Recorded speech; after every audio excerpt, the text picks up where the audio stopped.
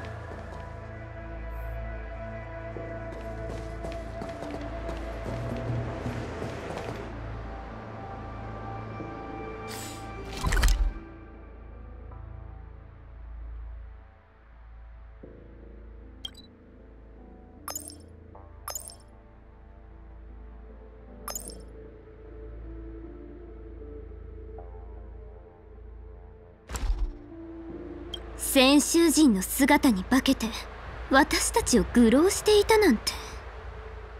本当に忌々しい。何より心配なのはこの選手にあとどれだけの半物質レギオンが潜んでいるのかわからないことね。もう急展開すぎて何が何だか。でも幼おじちゃんの言った通りよく考えると天運には怪しいところがあった気がする。特に北条の造物に異常な興味を持ってたりとか。天白氏が派遣した施設なら天運という人物が実在することは間違いないでしょう。安心して彼女の行方は運気軍に探させるから。私たちの前に現れた天運はあの悪辣さと残忍さを見るにベルトの推測通りきっと私たちを混乱させたかったんでしょうね。彼女の罠にはまるわけにはいかないわ。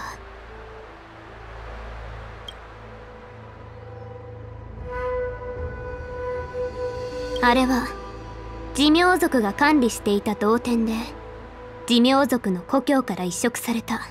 古海の継承地だと言われているわ。大戦で剣木が折られてからも剣木の根は伸び続けていた。本当に枯れたわけではなかったのよ。そこで同盟は剣木を林縁境に封じ込め竜の血族である寿命の力を借りて制御しようと。寿命族の竜尊に代々剣木を見守る使命を与えた。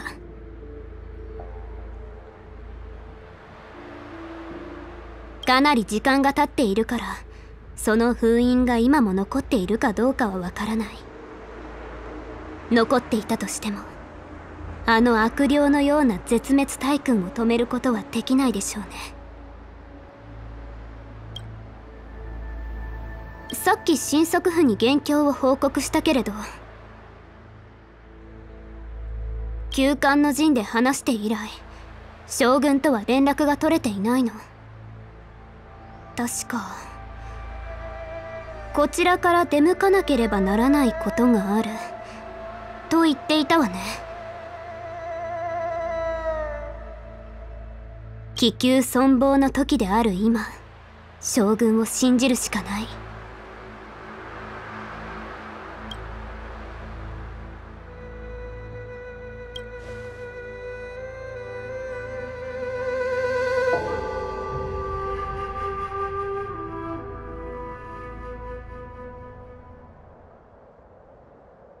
えっとここ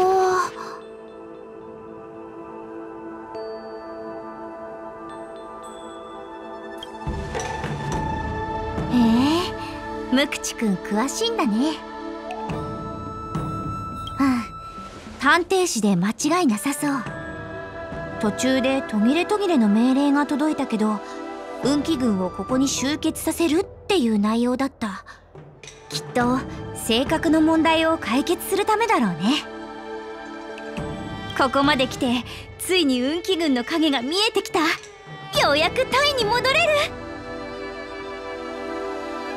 る。ね？私は嘘をついてなかったでしょ？安全な場所に案内するって言った以上絶対に案内してみせる。ちょっと遠回りしたけど。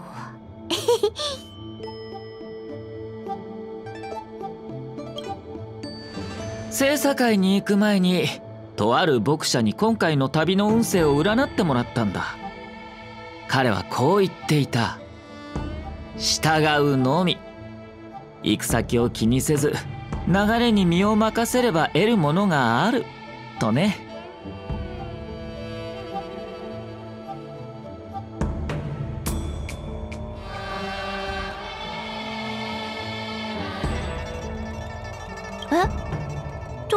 意味つまりお嬢さんに礼を言っているんだよ。嘘。じゃあ私は長官のところに報告に行ってくるね。あんたたちはこの辺りを見て回ってなよ。でも後で運気軍が護送に来るからあんまり遠くには行かないように。縁があったらまた会おう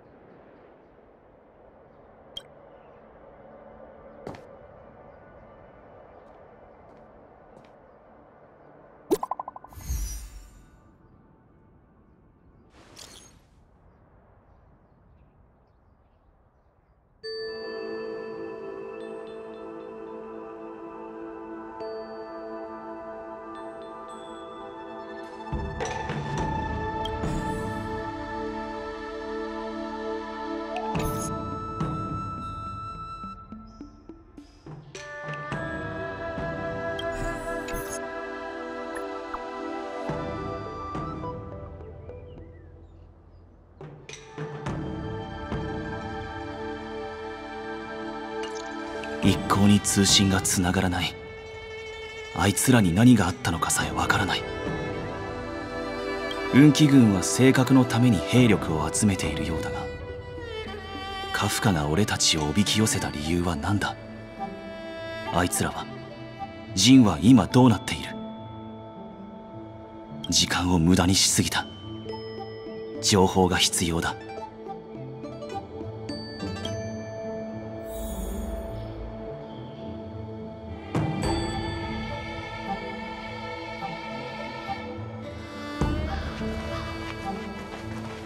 うしたの？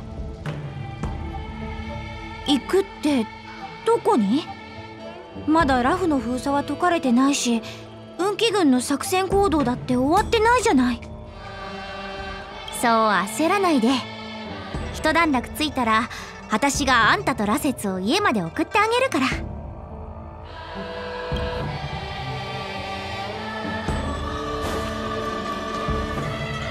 故郷に帰るのは久しぶりなんだろう？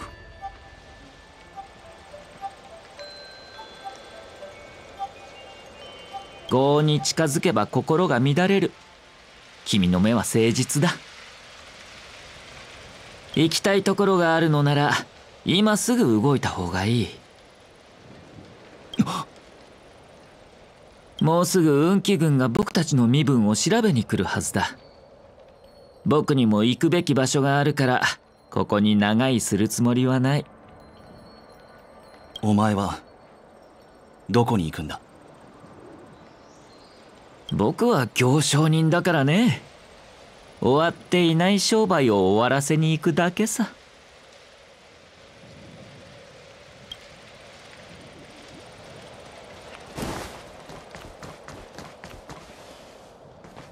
精査の通行が再開したらしいわ。探偵士に滞在していた人たちももうすぐ帰れそうね。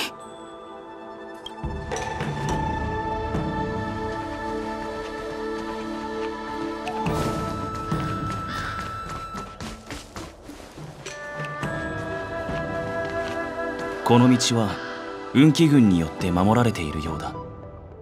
他の道を探さなければ。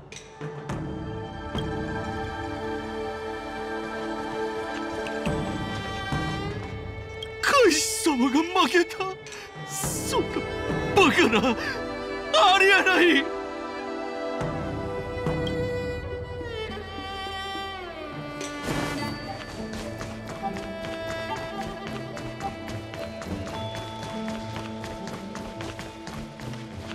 義士が手を差し伸べてくれたおかげでこの難関を乗り越えることができた。将軍様が招いたという客人はかつて名声を博した巡回レンジャーだったのか？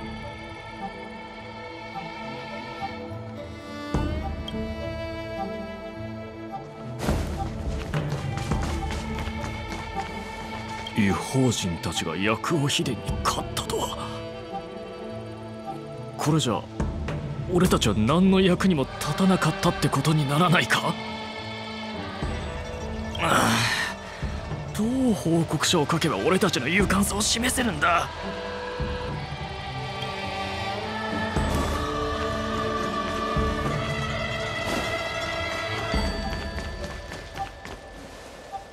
吉報だぞ！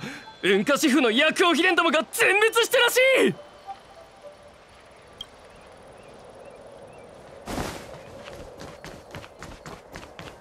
この道は運気軍によって守られているようだ。他の道を。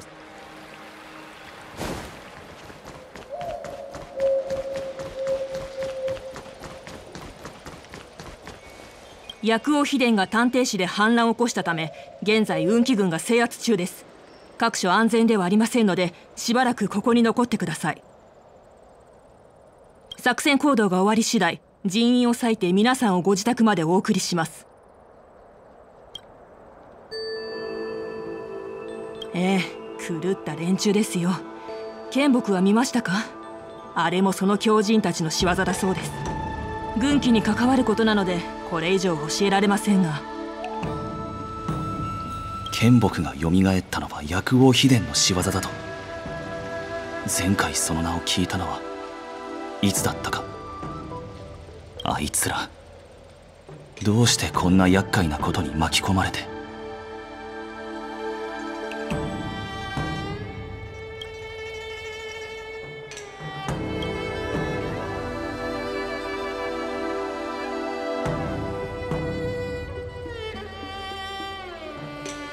ああこの方たちなら見ましたよ。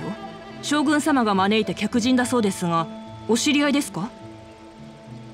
今は大木様と共に出征しているのでここにはいませんが彼らの勇気ある行動のおかげで運気軍も運家宿の独演を受けずに済みました。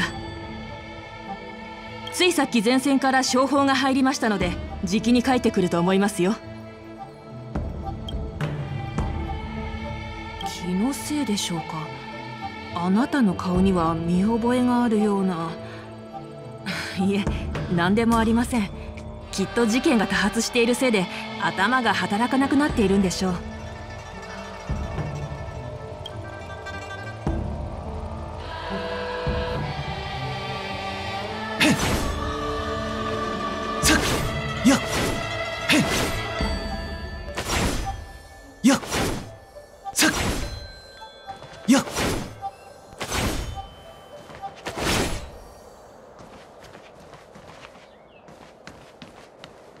二人には悪いが俺は仲間たちと合流しなければならない。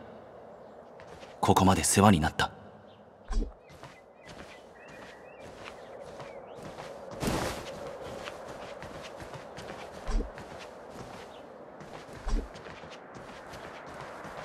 運気軍に警戒されないよう気をつけなければ。誰かに身分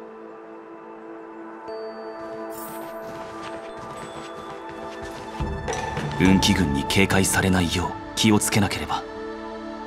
誰かに身分を問われたら俺は。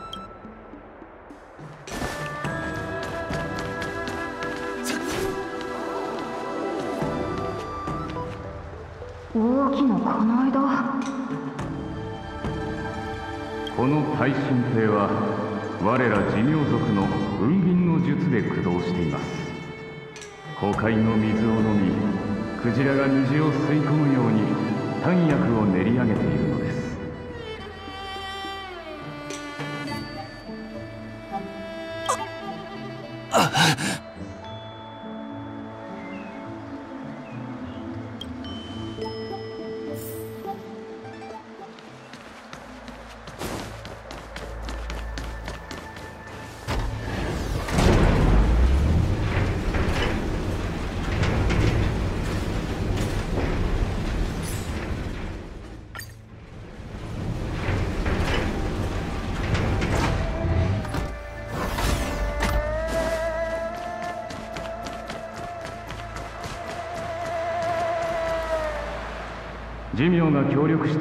った丹炉にはその全てに運銀の術がかけられております。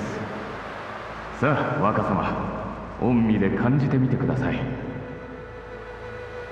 世はからくりに頼らずとも水を操れる。感じたところで何の意味があるというのだ。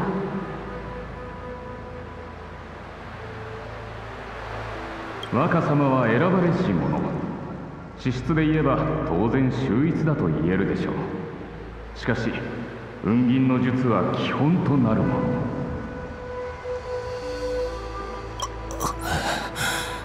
地名族の深淵過去の影はまだ消えていないのか。この記憶はいやもう俺には関係のないことだ。寿命が協力して作った丹炉にはその全てに運銀の術要はからくりに若様は選ばれし者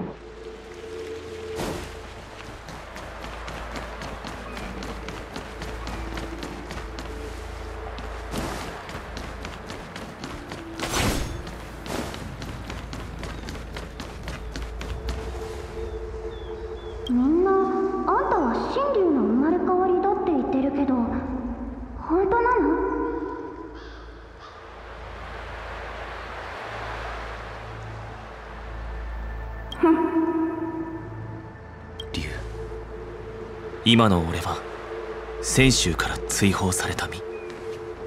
もう不朽の。竜の血族ではない。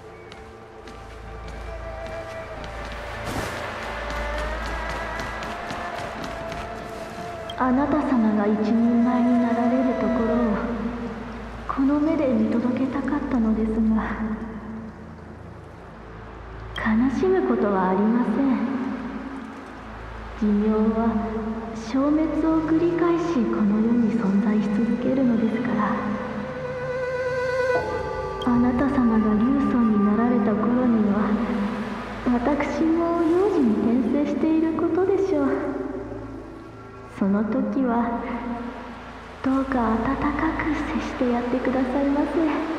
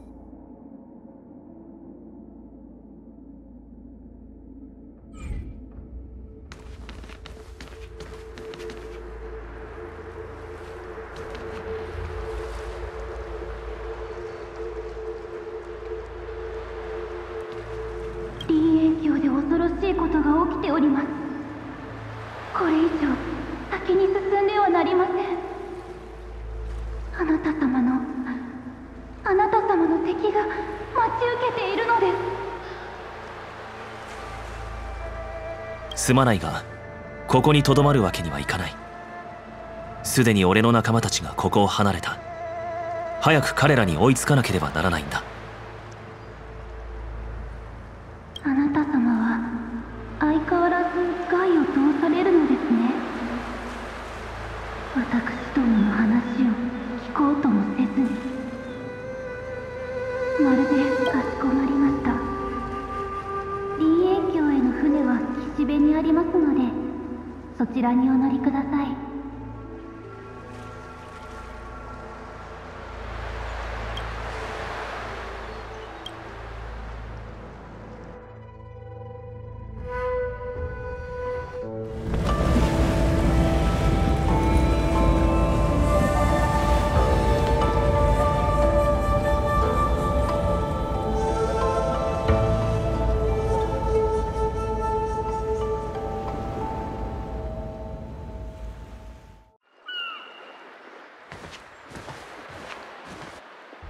来たな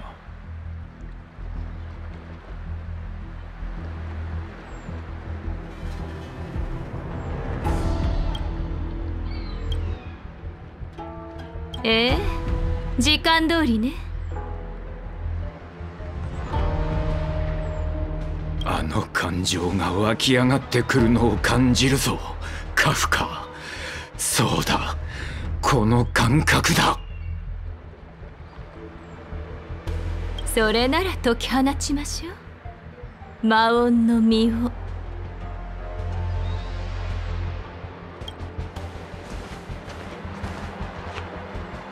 よく来たな。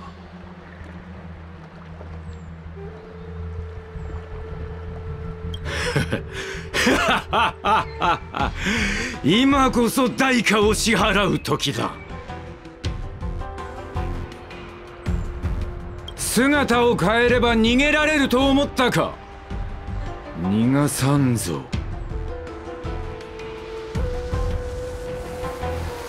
お前にもその女にも何度も言ったはずだ。俺は炭鉱だと。炭鉱はお前たちの過去と何の関係もない。炭鉱見た目を変え身分を変えれば過去の罪をなかったことにできると思ったら大間違いだ。貴様は貴様はまだ死を経験していない。あの苦痛を味わわせてやる。炭鉱。貴様に死の苦痛をな。それはダメだよ。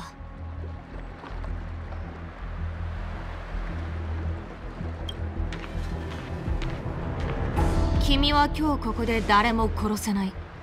指名手配犯。君には僕と一緒に来てもらう。軽減についている小僧か。ふん。奴は時期の見極め方を教えなかったようだな。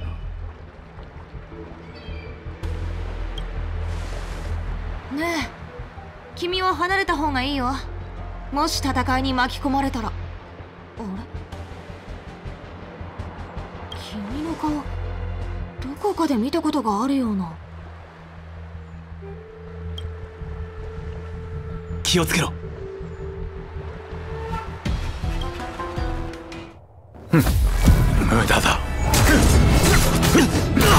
その正体を表せ。やめろ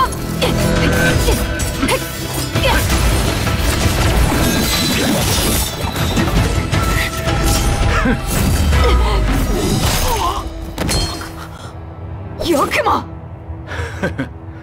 小僧教えてやる。そこにいるのは銃の悪逆を犯すし選手を裏切り大乱を起こし衛星に追放された妙の流祖陰月君だ。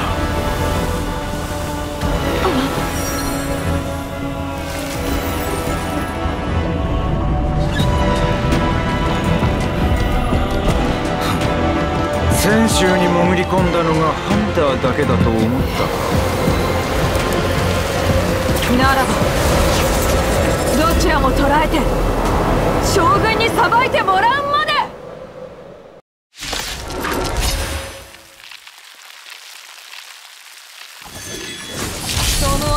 は聞いたことがあるよ。陰月君。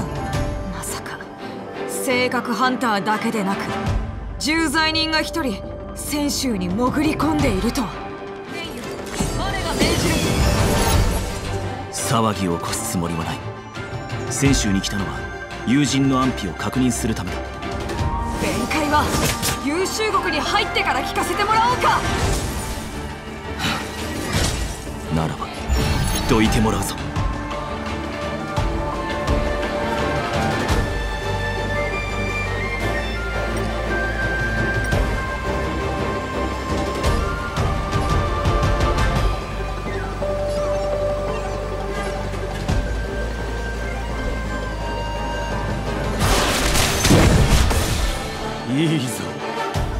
でなくてはな陰月友人との再会はもう叶わぬかもしれんぞ。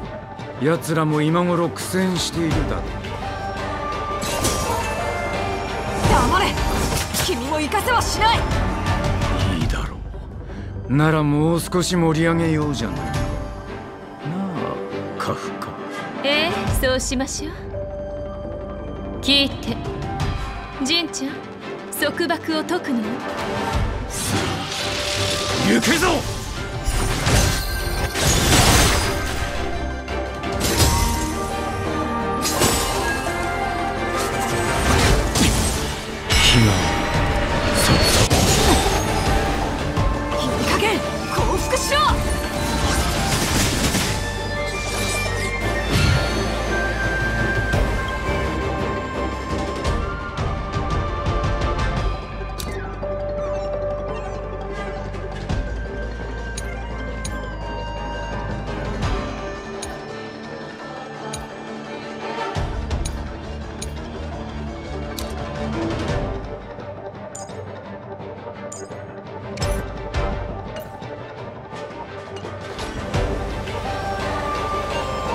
先人において気を散らすのはいい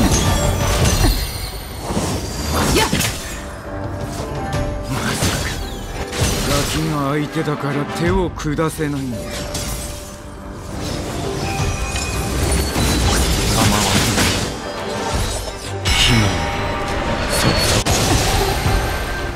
美月たちの方はどうなっている早く終わらせなければ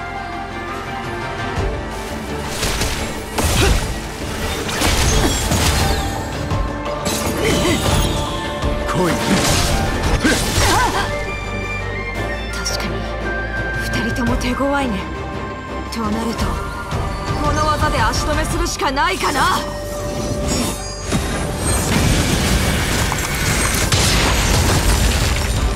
その件見覚えがあるあの女に教わったか。なら貴様には死んでこれ以上時間を取られるわけには事を荒立てるのは本意ではないが他に方法がないようだ。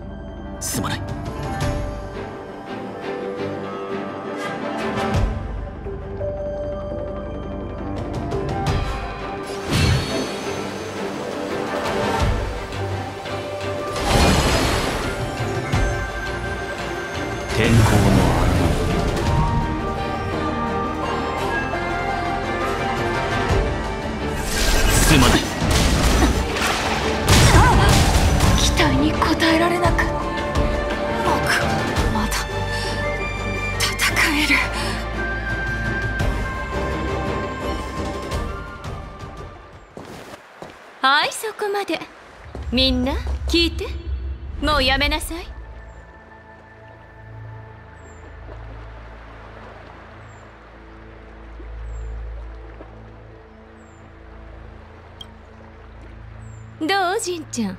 満足した？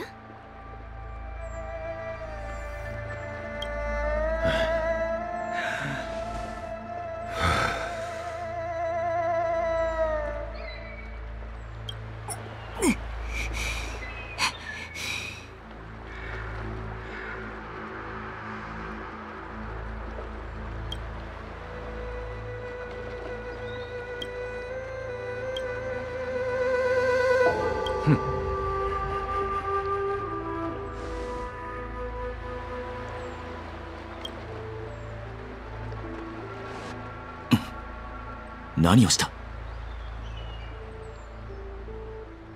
これから登場する御人を迎えるためのちょっとした準備ってところかしら。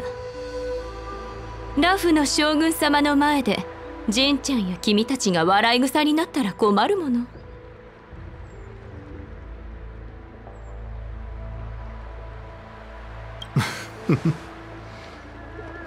軽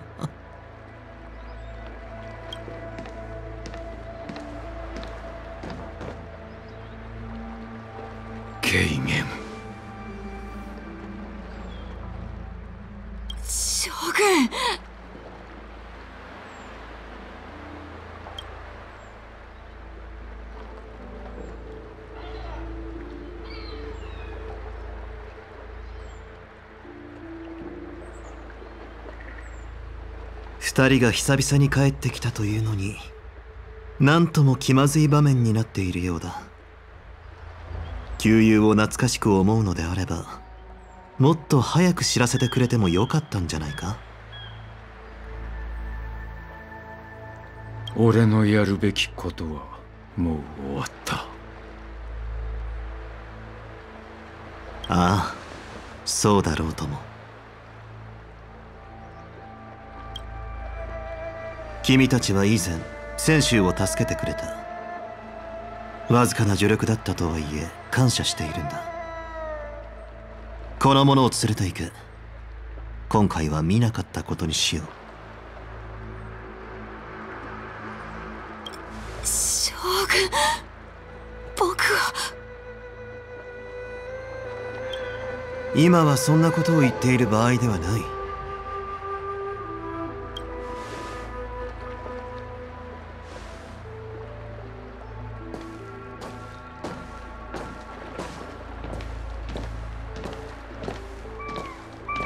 久しぶりだな。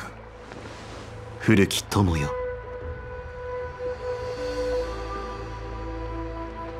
俺は彼じゃない。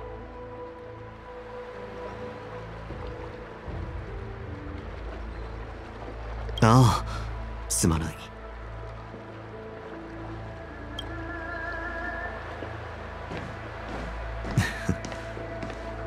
まだ行かせるわけにはいかない。列車の友人たちが林園橋で君を待っているんだ。私と一緒に彼らに会いに行こう。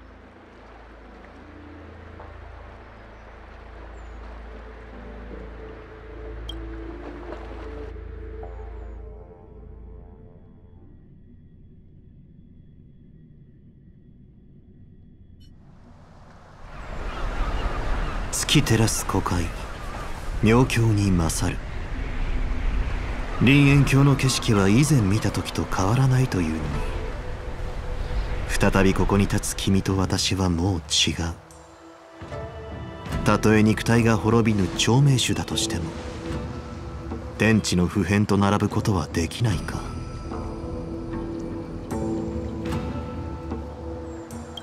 将軍は寿命族の輪廻転生を知っているはずだ。古海の水はすでに丹風の罪を洗い流している。かつて将軍とここに立った者はもういない。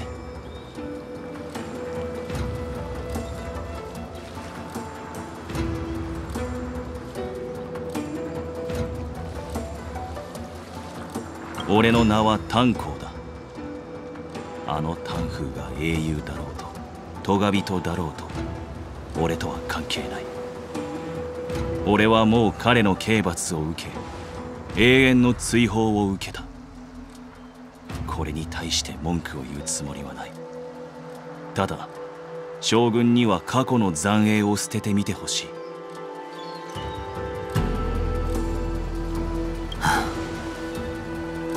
昔のことを語ると濁った水をかき混ぜるかのように不快感がよみがえってくるよ。おそらく君のその見た目が竜の角が竜尊の気質が二人の姿を結びつけているのだろうね。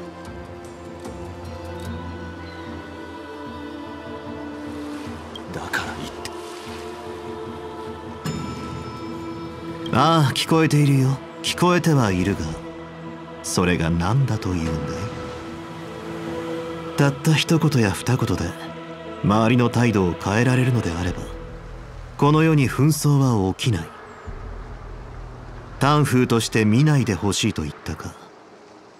いいだろう。だがその代わりあることをやってもらいたい。タンフーとして最後に一度手を貸してほしい。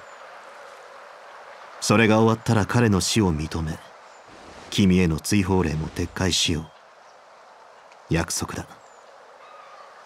その後少なくともラフでは君は誰の影でもなくなる。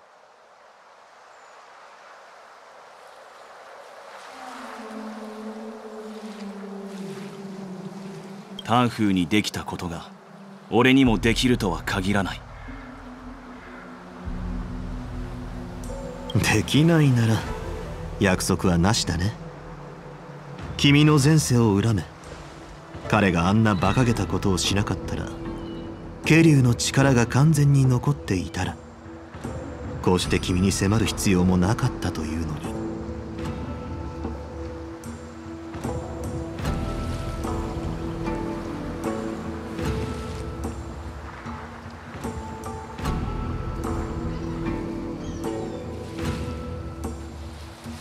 再びここに立つ君と私は違っていると私はさっきそう言ったね。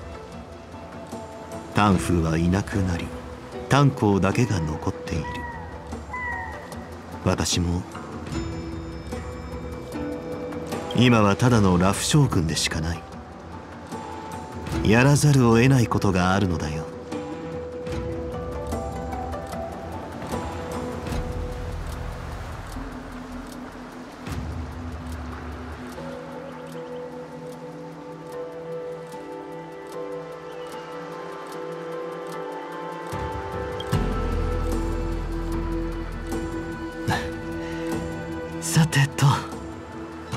明るい話題に変えよう。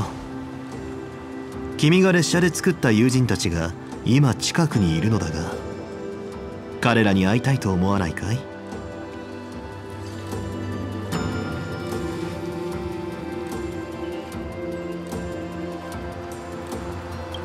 彼女に美月やベルトさんがあいつらをここに連れてきたのか。ああこの先の源流太油殿で待っているよ。行こう。君の友人たちが待っている。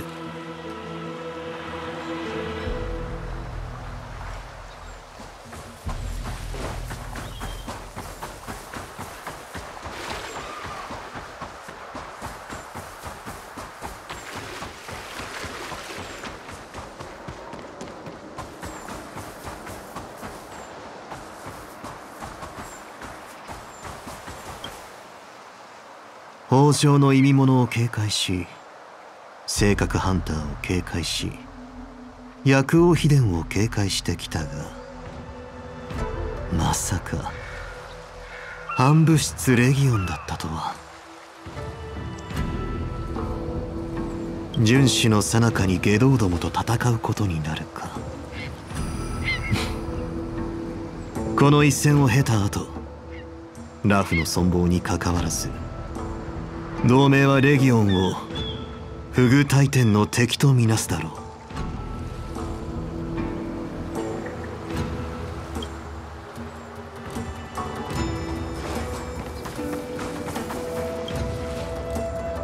これまでレギオンが同盟にちょっかいを出すことはなかった。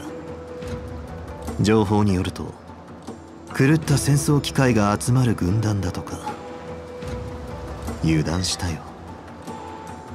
七対君それぞれが鮮やかな個性を持つとはね。これは参った。大君元老は物事を内部から崩壊させるのを好んでいる。だから正確の災いを計画し薬王秘伝を水面に出させた。だが今やその陰謀は暴かれ彼女は自ら舞台に立つしかない。いや違う。これは彼女の壊滅美学に背いているな。きっとまだ気づいていない何かがあるはずだ。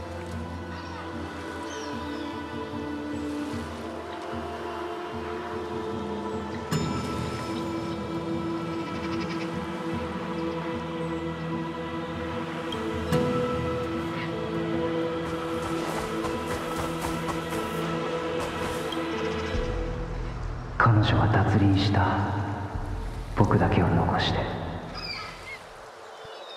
なのに僕はいつ訪れるかわからない脱輪の日を待つことしかできない。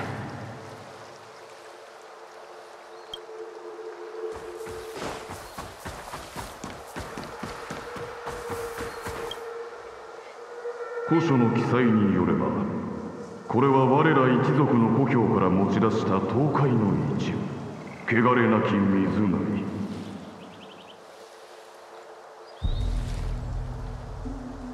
流祖が生命の水で我らを養い寿命に普及を授けた。我らはここより生まれまたここへと帰る。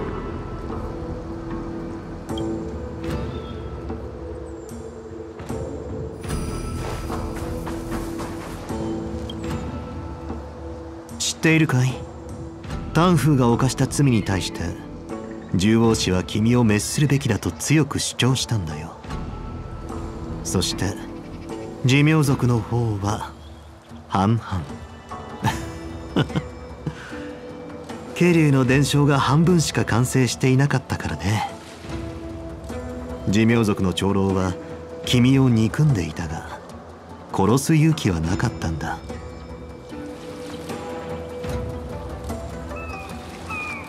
獣王氏と天白氏が納得するよう圧力をかけ彼らはタンフーに脱輪の術を強制的に執行した。だが彼らはその途中である貸しを残した。長老は獣王氏の目をごまかせると思ったのだろうが岩の物言う世の中だ。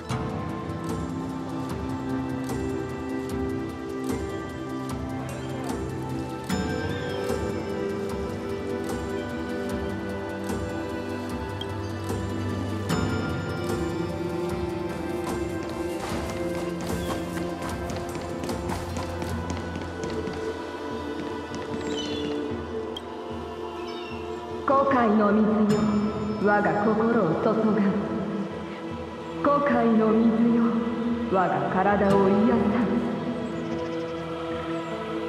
現世の前縁は完了し現世の悪号は焼却した。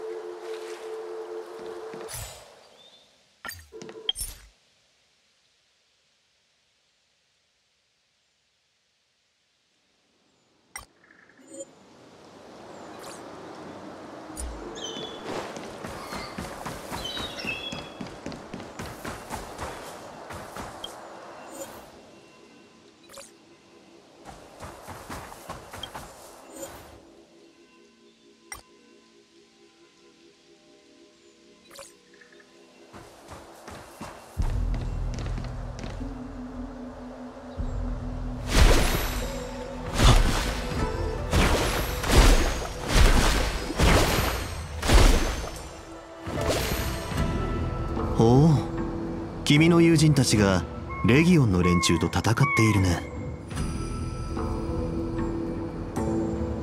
急ぐぞ。早く加勢してやらないと。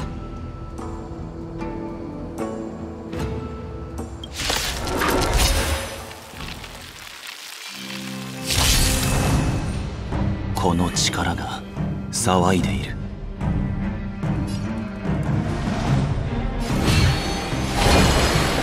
天候の荒波さあ光流飲め。この機会を逃さないで。やあ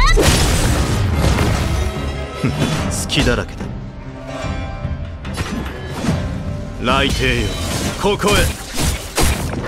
うちに出くわすなんてついてないうつもりはなかった。天候の荒波勝利。この機会を逃さないで。やっ。陛下慈悲なし。うちってばなかなかやるじゃん。や。っ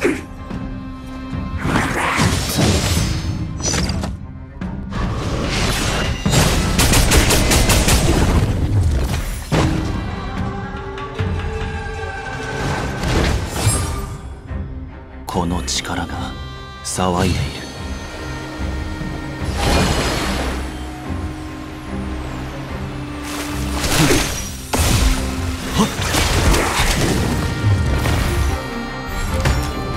始めようか。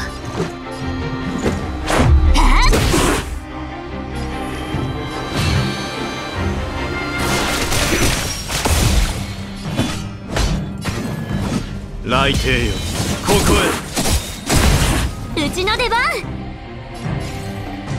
ほら。へ 騎兵の出番。だ高校たる異例よ。我が命に従え。ザン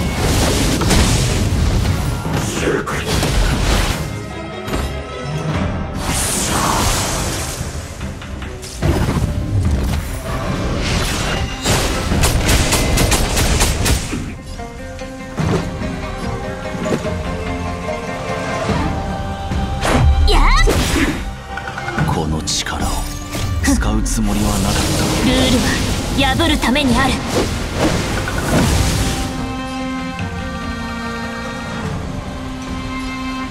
一撃で沈める。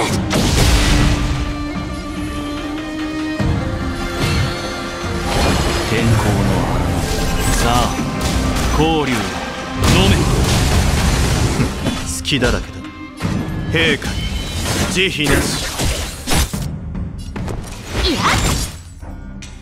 即戦即決でいこう。はっ？天候の荒波勝利。いでよ。私に続く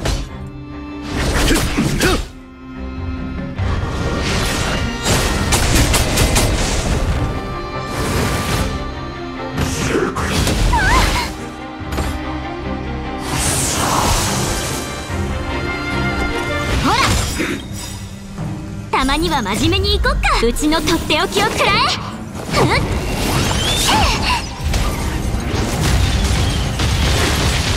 始めようか。やっ！天候のさあ光流。飲め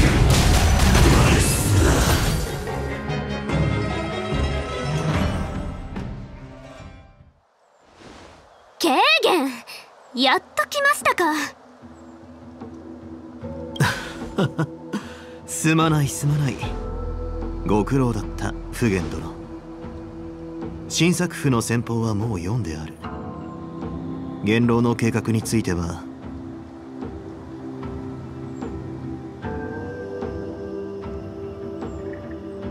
剣木です。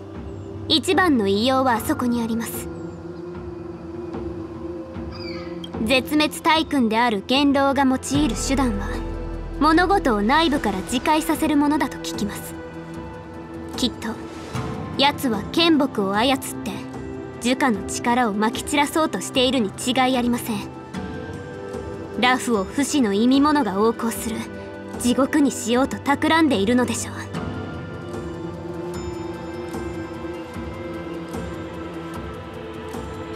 うん。状況は大方把握した。列車の諸君喜んでくれると思いある人物を連れてきた。ぜひ会ってくれ。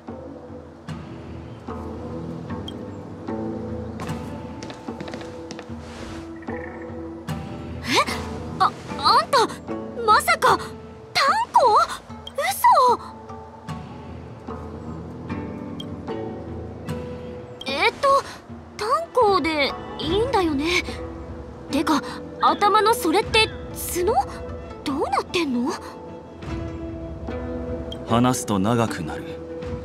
だが俺で間違いない。じゃあつまり本当に何らかの力を隠してたってこと？さて雑談はここまでにしよう。列車がラフに着いた時君たちは性格の問題を処理するためだと言っていたね。だがあの時の私は性格ハンターに別の企みがあるのを恐れ君たちの提案に乗らなかった。結局性格ハンターが何かを企んでいたのは事実だ。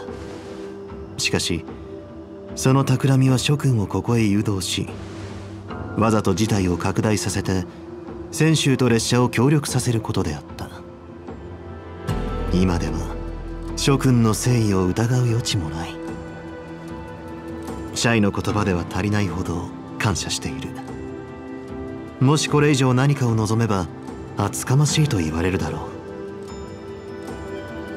う。だが普賢殿が言った通り元老の登場で事態は制御不可能な状態に陥った。ラフの将軍としてやむを得ず炭鉱殿の力をお借りしたい。どうか諸君にも全面的にご協力いただけないだろうか。ラフの危機が性格と関係あろうがあるまいが座視するつもりはない。だがこれは俺自身の意志だ。請求列車を代弁することはできない。探索。理解構築連携。列車組が全うする開拓の心情はこの4つのワードだ。しかし旅は険しくこれらを貫き通すのは極めて難しい。恐怖基地敵死。これら旅の困難を乗り越えて歩んでいける七死人はごく少数だろう。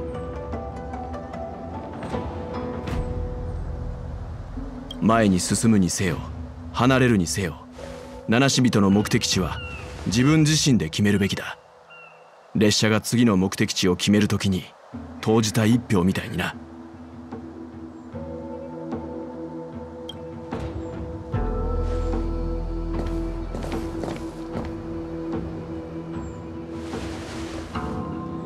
タンコあんたはどうする気？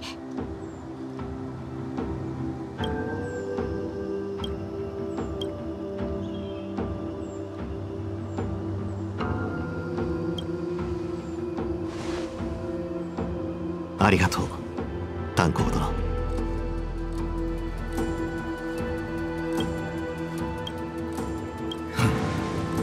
俺は七死人としてここに立っているわけではない。これまでの道のりも一人振り回されとても自由とは言えなかった。だが寿命の末裔として俺はラフへの責任を全うしよう。よし。みんな最初に来た時と変わらず正義が何なのかを理解してるみたいだね。じゃあこれからどうすればいいの？将軍。妙案はない。これは一種の賭けだ。寿命族の長老がかけた中途半端な脱輪の術と炭鉱殿がリュウソンの記憶を取り戻すことにかけるしかないだろう。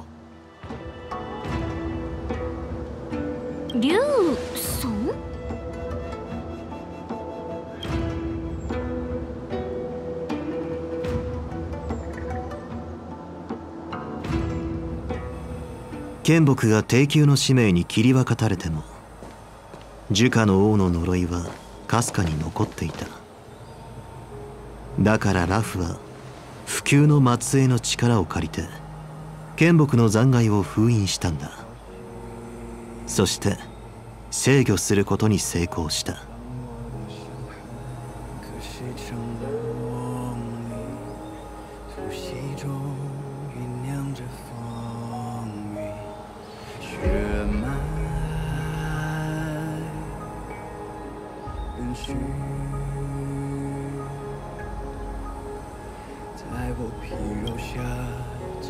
古代竜尊の指示のもと寿命族は湖海の水を引き林縁鏡を水没させて剣木を治める容器にした。その宗居と犠牲を記念するために先週同盟は林縁鏡で剣竜太夫の火を立て寿命の像を残したんだ。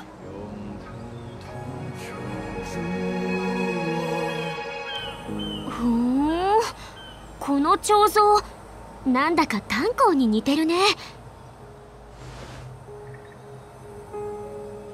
もしかしてこれ炭鉱の兄弟だったりして。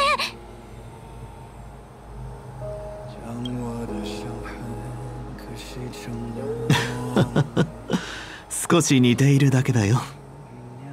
これは随分と昔の出来事だからね。強いて言えば歴代の竜尊は皆外見が似ているんだ。今の代を除いてね。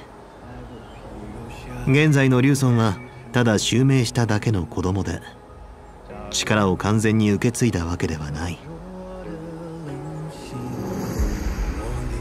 炭鉱殿は知っているだろうか？丹風が亡くなりラフの寿命族にはもうこのことができる者はいない。かつて剣木を守っていた君ならば私たちのために剣木へ至る道を開けるはずだ。全て君に託したよ。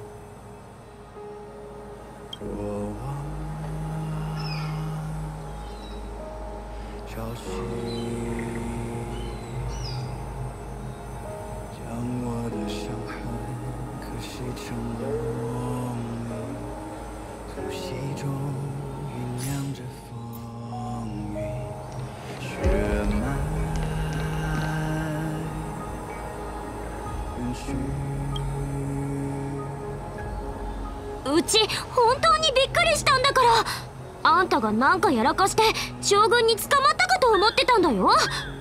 どうやって助けようか考えてたのにまさか2人が知り合いだったなんてね。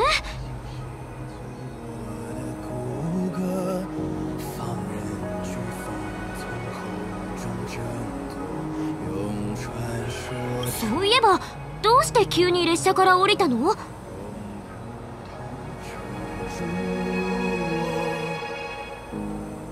わかったわかった。言いたくないなら無理しないで。誰にでも秘密はあるもんね。それに今は好奇心を満たしてる場合でもないし。とにかくタンコ来てくれて本当によかったよ。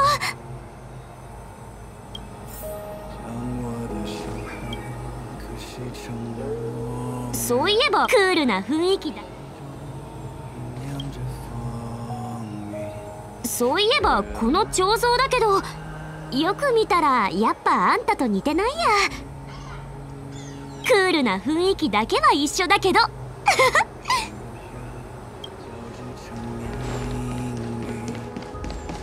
将軍様のお話が終わるまでどうかここを離れないでください。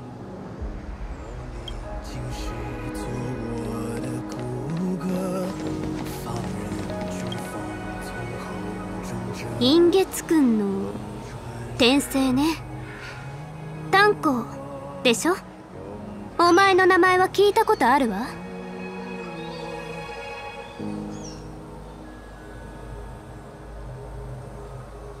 お前の名は獣王氏が世間から抹消しただけ。だが大木として私は知っている。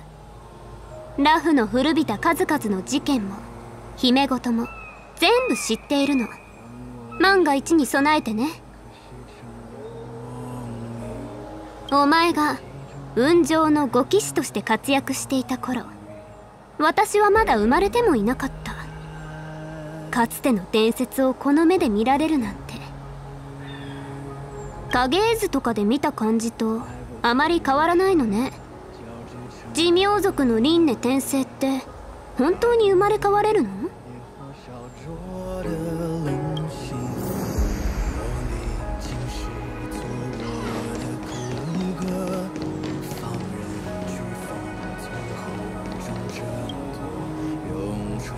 ここに来て何か思い出したことはないかい？金星を解くんだ。その身が背負う力こそが剣木への道を開く鍵となる。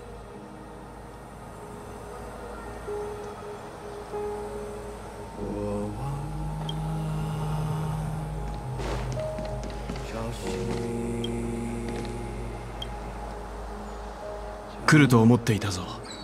先週のことを話した時君の目は悲しみに満ちていたからな。追放されたとはいえラフは君の故郷だ。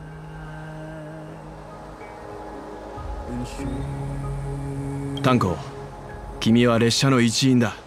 さっさとこの件を片付けて次の旅に出よう。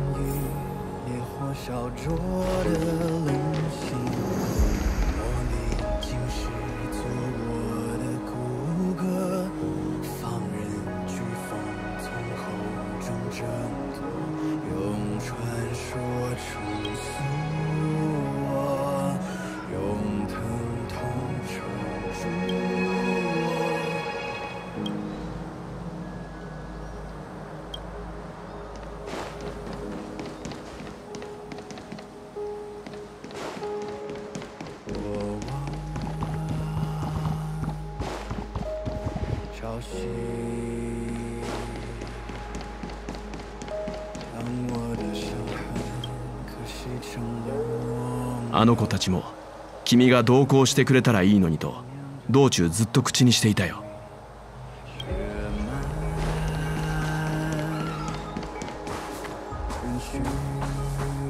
将軍様のお話が終わるまで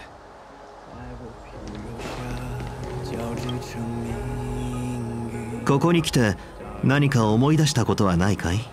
金星を解くんだ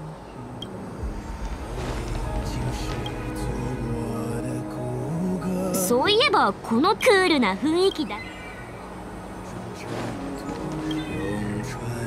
寿命族の秘密を探るのは良くないけど。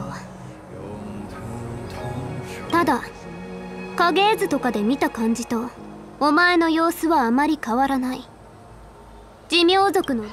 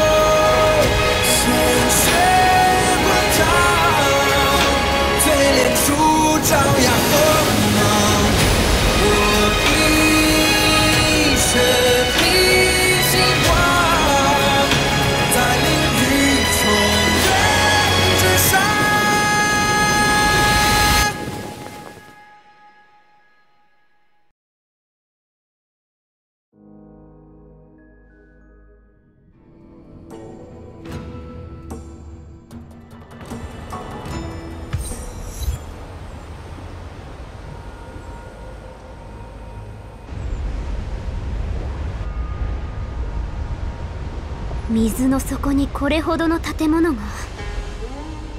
寿命族の竜宮が林縁峡にあったと古書に記されていたけどこういうことだったのね。出庫の乱が起きていた時私は幸運にもこの奇形を自分の目で見ることができた。今は総会の変を経て宮殿は廃墟と化している。寿命族の聖地で剣木を封印したことについてラフは彼らに大きな借りを作った。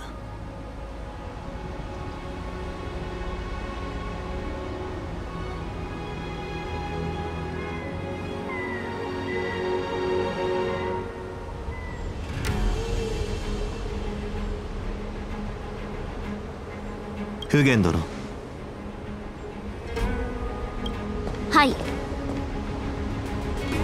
ここに残って運気軍を率いて道を守ってくれ。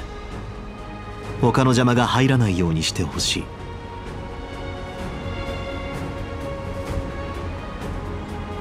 軽減将軍はお一人で元老に立ち向かうおつもりですか？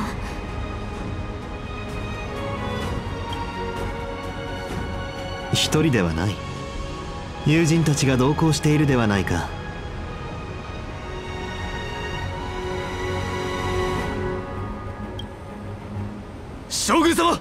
我々も将軍様にお供します。我々も連れて行ってください。そうです将軍様。あまり力になれないかもしれませんが運気軍にとって泉州を守るのは役命です。それを異教の旅人に任せてその背後に隠れているなどできません。どうか我々に先陣をお任せください。皆の気持ちはよく分かった。だがこの先にいるのは北条の意味者ではなく反物質レギオンの絶滅大君だ。この道を通れば低級と人滅の対決となる。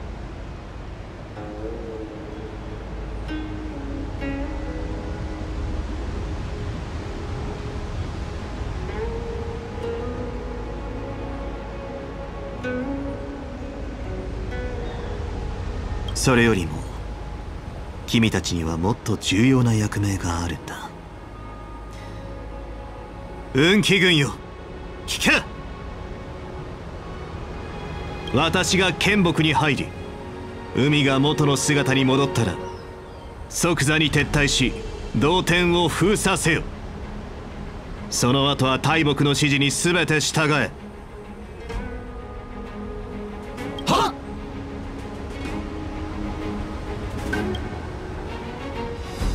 フゲン殿。もし私が帰ってこなかったら事の顛末を整理して他の選手に報告してほしい。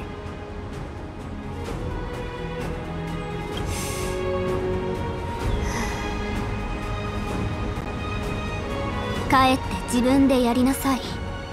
などとは申しません。その命しかと承りました。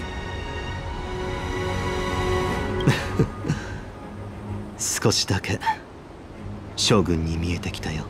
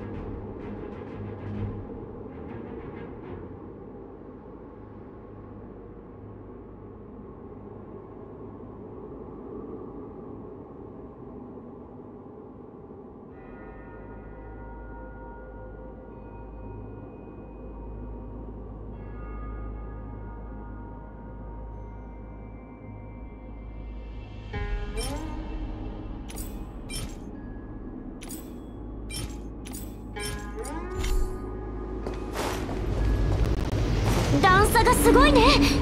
よいしょ。次は。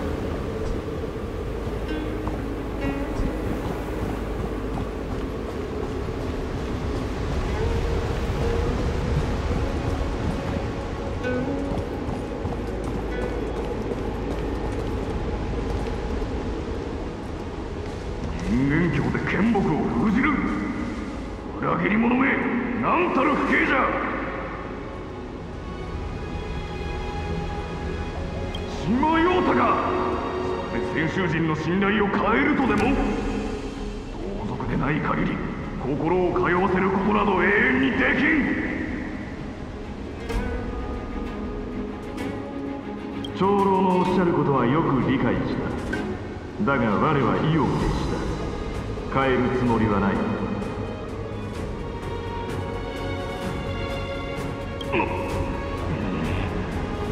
いじゃろう。ならば入手たちに告げお主の竜尊の名号と力を奪い取るまで。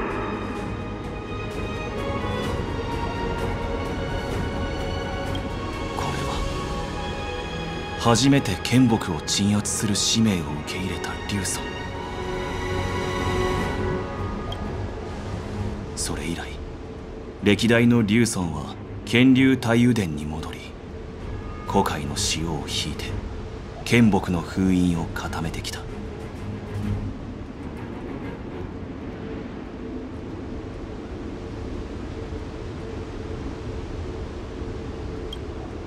思い出したのか？ああ。三層を礼拝し逆もぎを彫金せよ。これで玄魂の奥深くにつながる道が開くはずだ。何それ？謎謎？三層を礼拝ってどういう意味？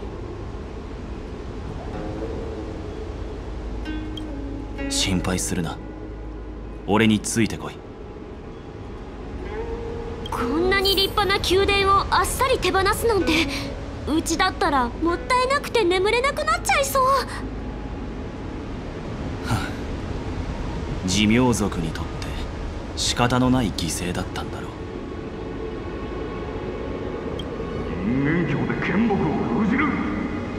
裏切り者め島陽太かそれで先衆人の信頼を変えるとでも？長老のおっしゃることはよく理解した。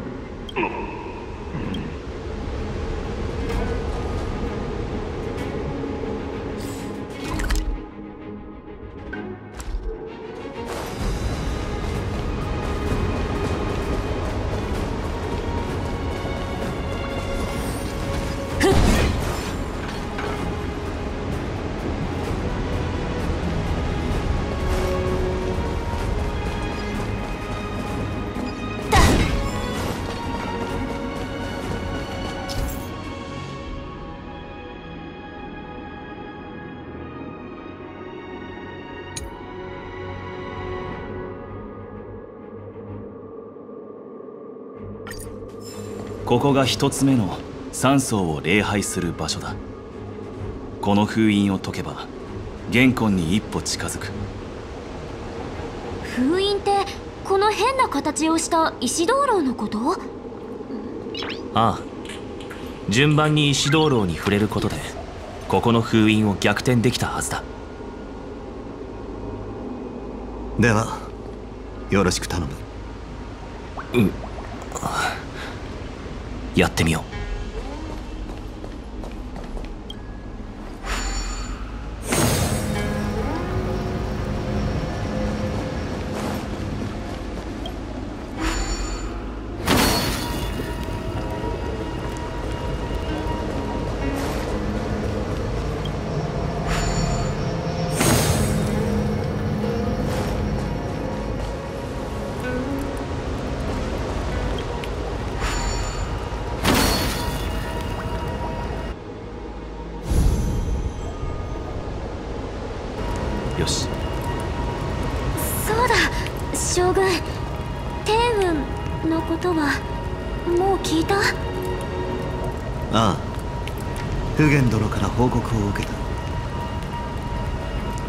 元老がそれほど深く潜り込み陰謀を張り巡らせていたとは。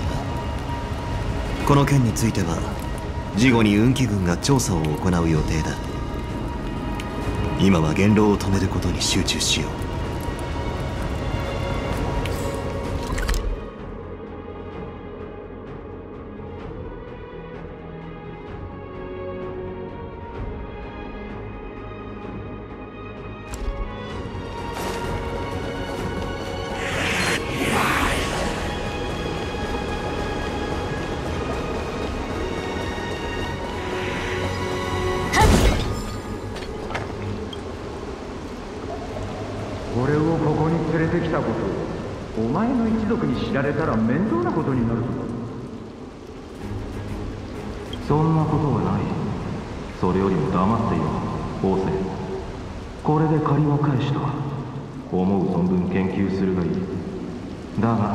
2時間までだ2時間を少ないと思ってるのかもしれないが俺は短命種だ。短命種にとっては十分な時間さ。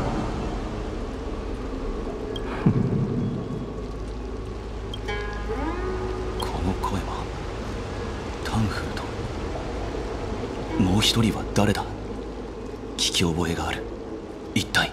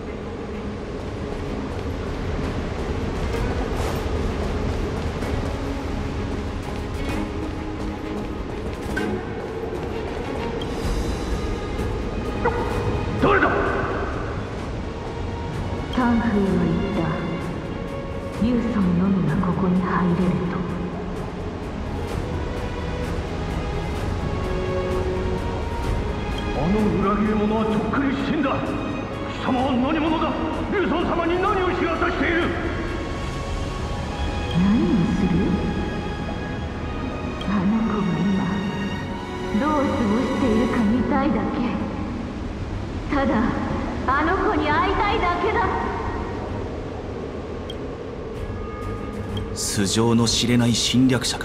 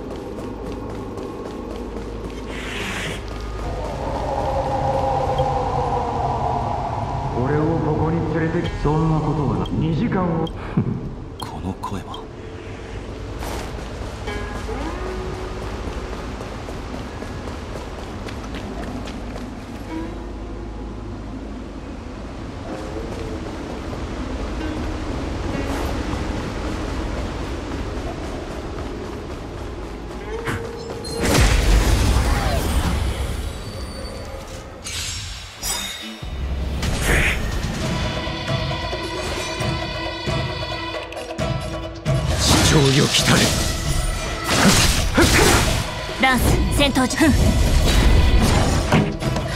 ってる。手の施しようがないわ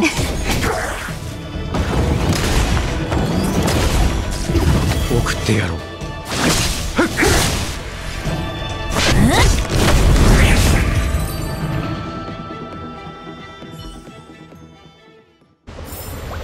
自分の意志で結末にたどり着いてみせる。ここの封印は剣木が蘇る前からすでに弱まっているようだ。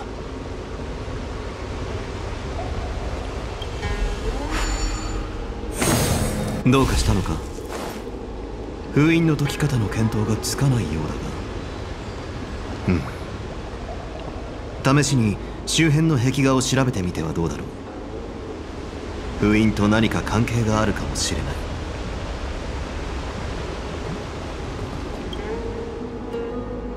寿命の同地。古縁の連携。前世の県警来世の死。この壁画は寿命族が脱輪してから年配の同胞に導かれ成長する歳月を描いている。不思議な壁画。全然時間の侵食を受けてないみたい。この壁画は周辺にあるいくつかの壁画と関わりがある。古海から生まれまた卵となり古海に戻る。寿命族が輪廻する過程が描かれているんだ。へえ封印と関係があるのかな？あるかもしれないな。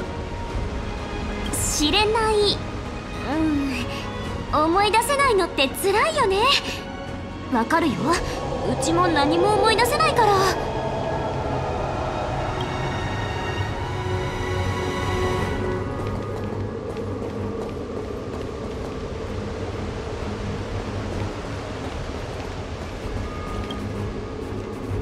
寿命の青年。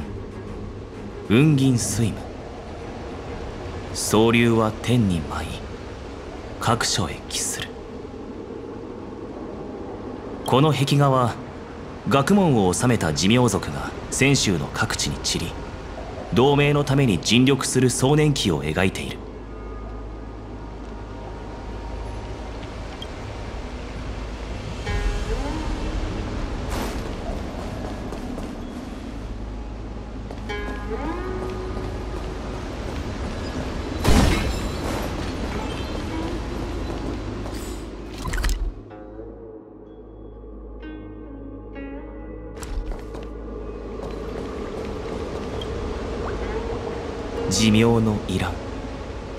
月を浴びて花を預かる。王たる古海。月を浴びて再来する。この壁画は寿命族の卵が破月古海で脱輪し生まれ変わる瞬間を描いている。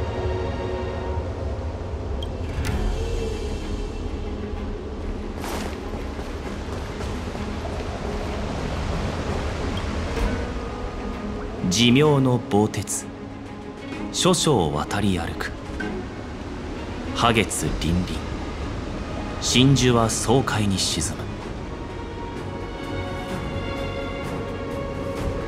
月日が経ち700年ぐらいが過ぎると寿命族竜の血族たちは再び卵と化して古海に沈む。そして次に脱輪する時を待つんだ。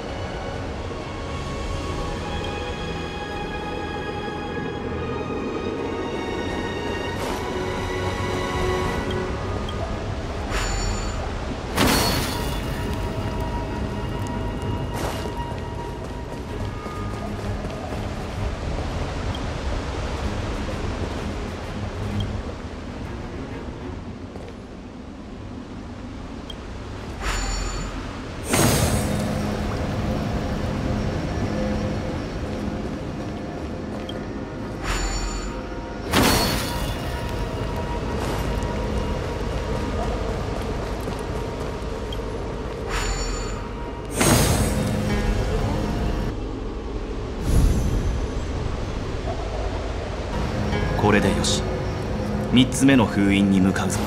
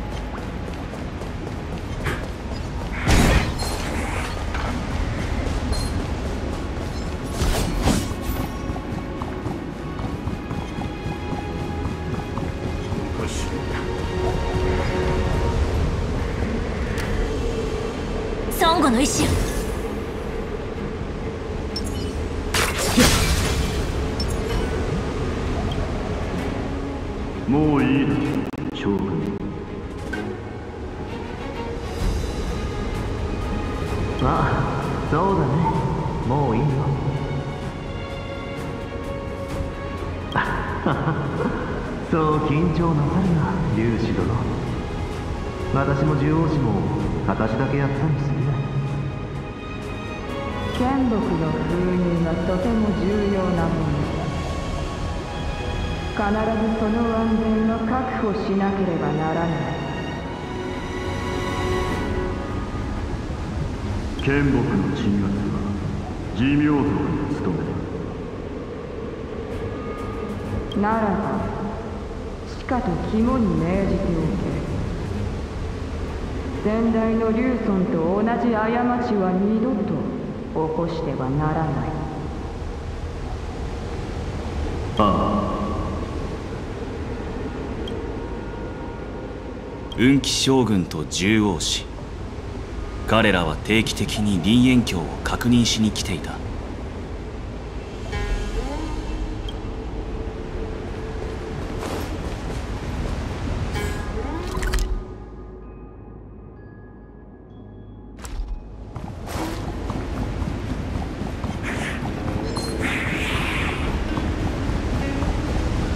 ここが三層の最後の一つだ。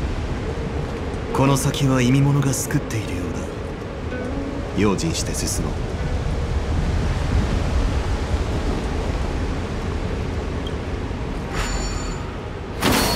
先ほどの巨獣が踏んでいた石板はここの封印と何か関係があるのだろうか。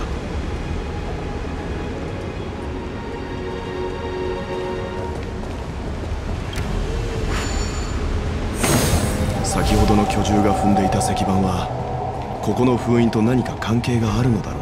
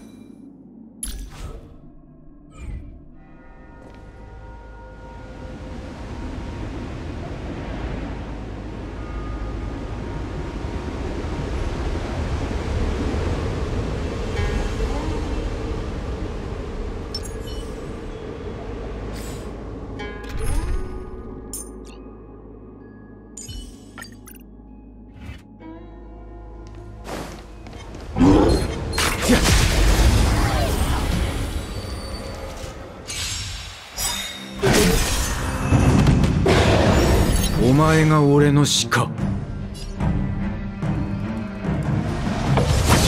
意はなしだ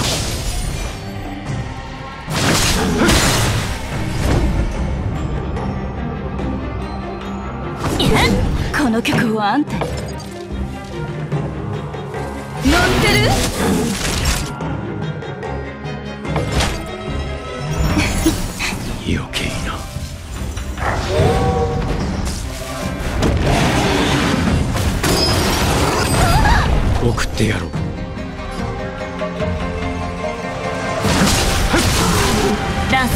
闘準備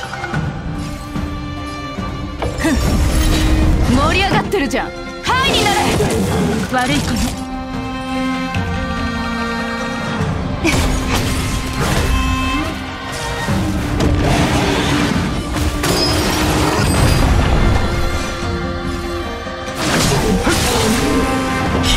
そうそう私が守るこの賭け皆を招ここ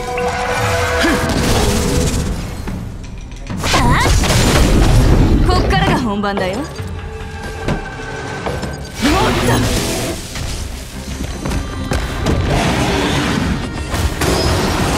やるじゃん。間に合った。ほんの気持ちよ。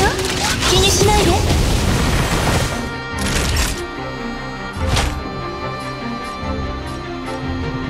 お薬の時間よ。剣に連瓶はきりした。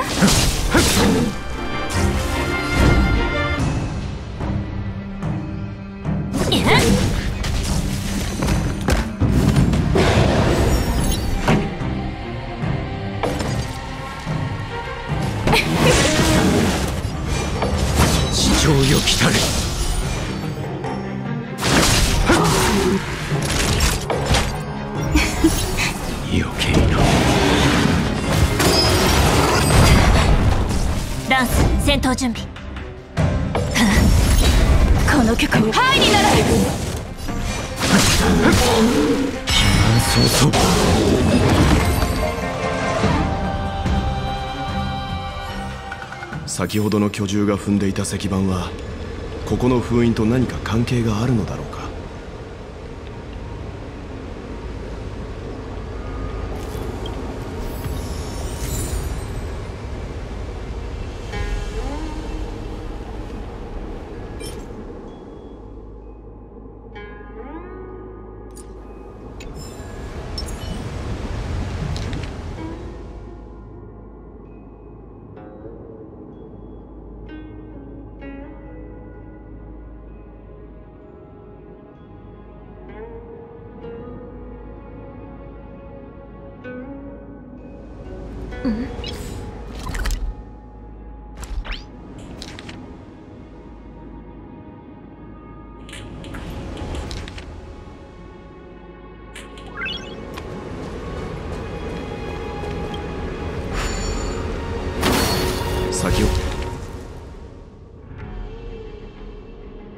巨獣が踏んでいた石板はここの封印と何か関係があるのだろうか。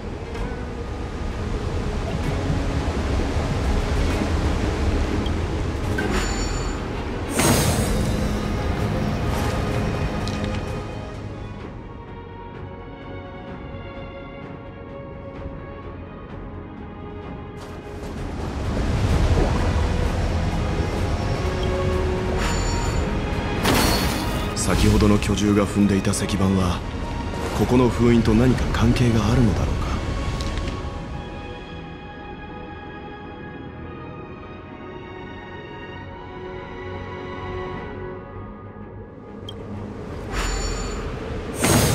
先ほどの巨獣が踏んでいた石板はここの封印と何か関係があるのだろう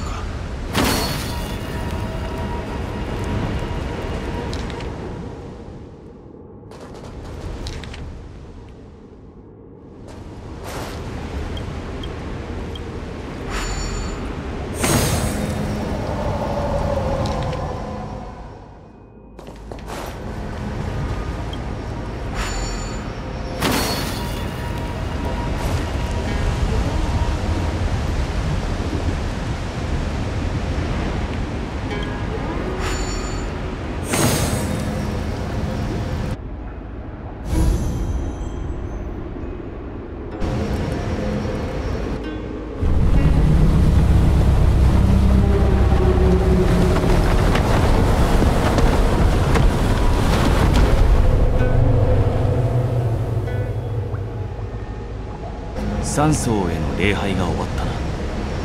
次は剣木の玄魂に向かおう。剣木の根がまた伸びている。元老だもう時間だな。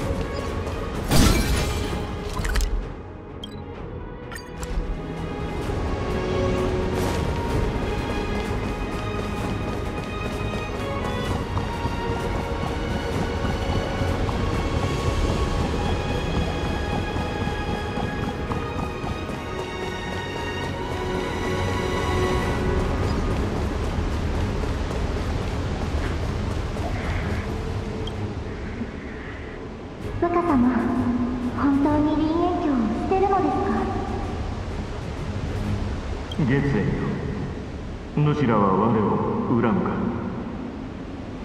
わかりません若様全く恨まないと言えば嘘になるでしょうしかしうまく言葉にできません長老は言いました私たちは元より泉州で暮らす種族ではなく泉州が住まう場所を与えてくれたとならば今こそその恩に報いる時でしょうかそうだな。その恩に報いる時だ。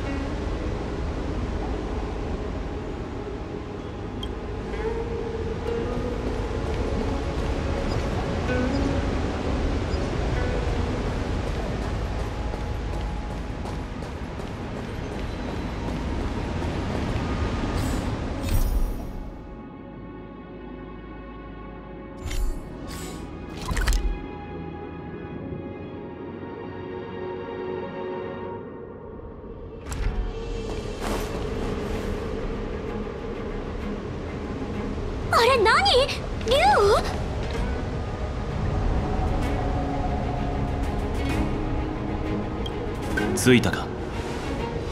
ここが剣木の玄湖北条の神の御業が宿る地。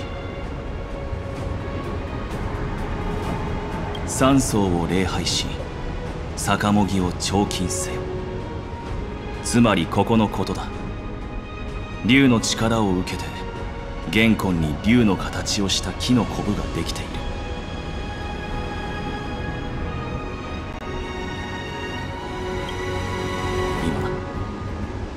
最後の封印を解こ